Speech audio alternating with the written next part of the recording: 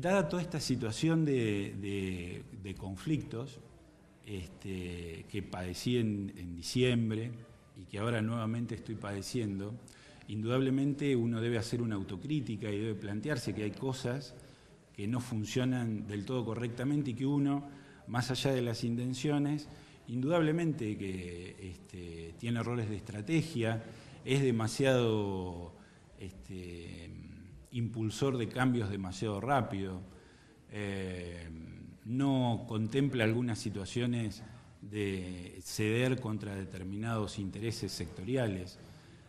Mm, yo hago una autocrítica y digo, bueno, hay dificultades. Sí, digo que nunca le he faltado el respeto a nadie, eh, que siento que en diciembre fui muy agraviado y que siento que ahora estoy siendo agraviado también. Yo he decidido dar un paso al costado.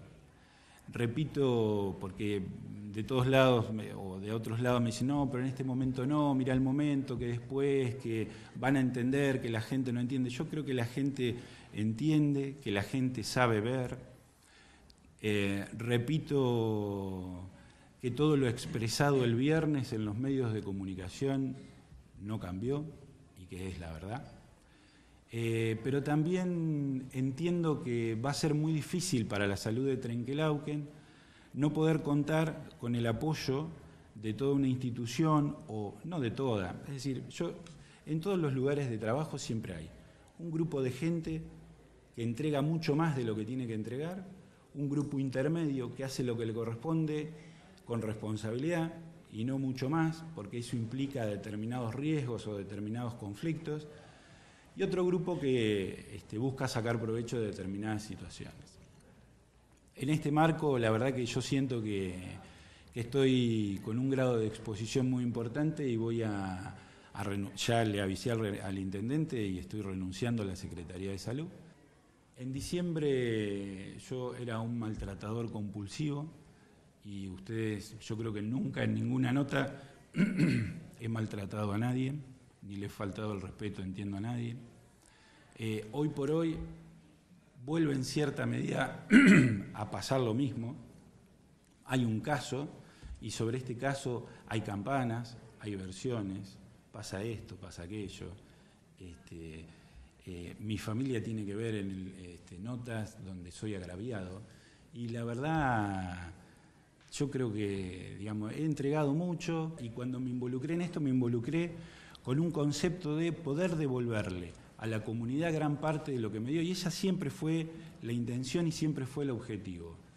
Para entrar, nunca acomodé los horarios del municipio a mi tarea privada. Rescindí mis trabajos, seguí con mi consultorio por la tarde y entendí la función pública como única.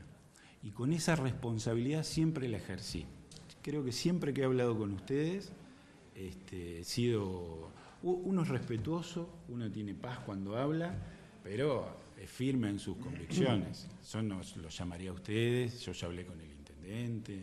¿Cómo lo tomó el intendente? Eh, bueno, eso, digamos, yo tienen que hablar con el intendente.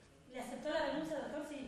Eh, el, intendente siempre, a ver, eh, el intendente siempre yo tengo una relación muy afectuosa con el intendente. Yo, por lo menos por mi parte, una persona, yo soy nuevo, tengo 40 años, no había Secretaría de Salud en Trenquelauquen, había una figura preponderante que era el doctor Barracha, y siempre él me ha orientado este, y ha corregido la gran parte de, dificultades que por ahí tengo dificultades, probablemente estas cuestiones de estrategia, y él siempre ha estado corrigiendo las otras, las que por ahí no se han visto.